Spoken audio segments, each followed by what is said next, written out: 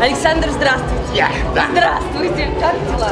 Радиодача, все слушатели. Я лично очень интересуюсь, как дела, как дискодача, как настроение, все ли так.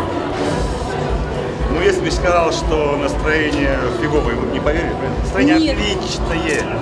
А, публика супер. А, артист клевый. Чего, чего, ну я тоже суперский. Вот. Я впервые в жизни себя похвалил. Ну, что-то все остальные ребята себя нахваливают. Я думаю, тоже пора себя уже, так сказать, без замикширования выдавать желаемое за действительное. Так. Ну, чего надо еще? Сейчас скажу, вопрос интересный. Давай. Как можно сделать так, чтобы не наступить два раза на неправду? Вот прям вот сейчас возник экспромт. Как можно так А, есть сделать, ответ. чтобы... Есть... Давайте. Наступить третий раз. Чего вы... Чтобы не наступить два раза, нужно наступить третий раз на них. Тогда третий раз получится. Я понимаю, вот если бы вы сказали, что наступать иногда на грабли приятно, и от раза к разу приятнее и приятнее. А вот наступите в третий раз и поймете, приятно или как.